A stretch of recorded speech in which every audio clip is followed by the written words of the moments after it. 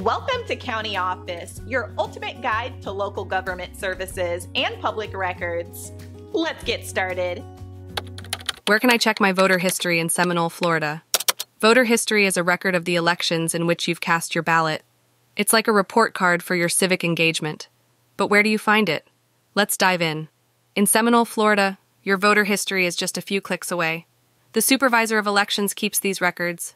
They are the go to folks for all things voting. Curious if you've been a regular at the polls or if you missed any? Your voter history has the answers.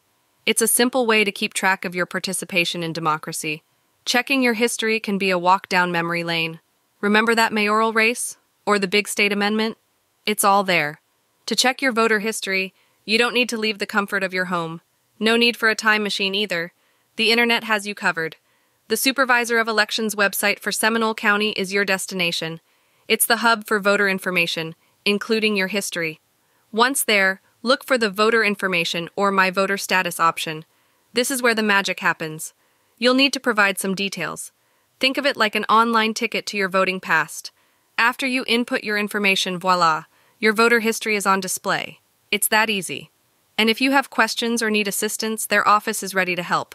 A call or email can clear up any confusion. Remember, your voter history is a part of your voice. It's a snapshot of how you've helped shape your community. So, are you ready to take a peek at your voting past? Go ahead and check it out.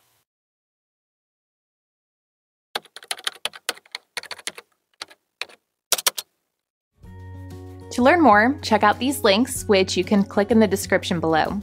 And feel free to comment your questions. We're here to help. Thanks for tuning into our video. Please like and subscribe and leave a comment below. See you in the next video.